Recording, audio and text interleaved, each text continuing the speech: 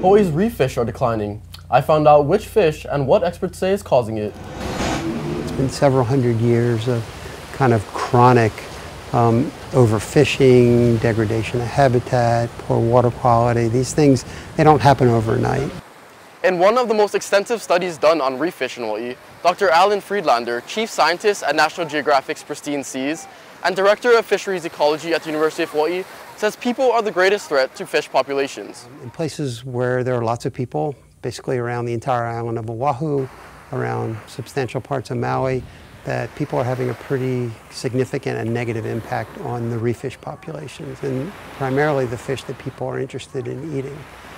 Some of these fish include ulua, or thick-lipped trevally, kumu, or white saddle goatfish, uhu, or parrotfish, and kala, the unicorn fish. I've been fishing over 50 years, and there's a lot of changes, a lot of changes.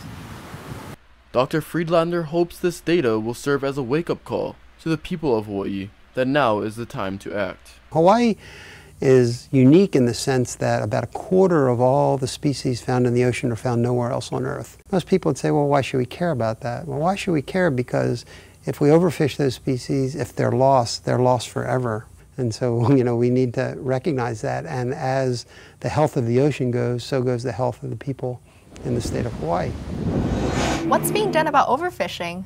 Well, the state created marine protected areas. The most recent and largest surrounds the northwestern Hawaiian Islands. All right, thanks for that.